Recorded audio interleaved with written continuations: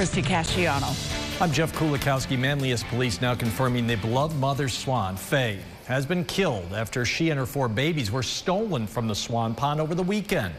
That's where we find News Channel 9's Adrian Smith at the Swan Pond. Adrian, first off, let's check in. How are the babies doing tonight?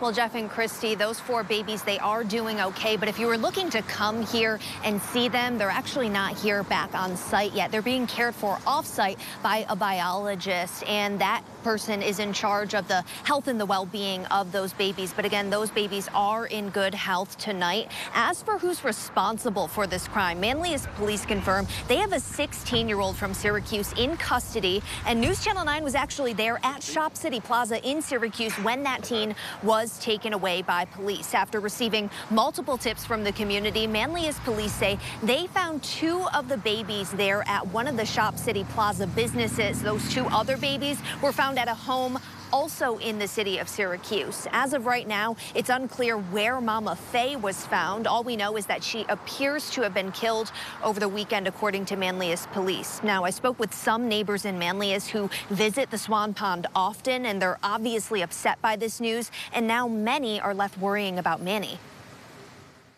Manny's usually very aggressive. And for them to be able to get Faye and all four babies out of here, is incredible without him doing something. Here we have two swans, you know, how beautiful and yeah, gentle it is, you know, so they basically represent the town, you know, and now we have just one of him.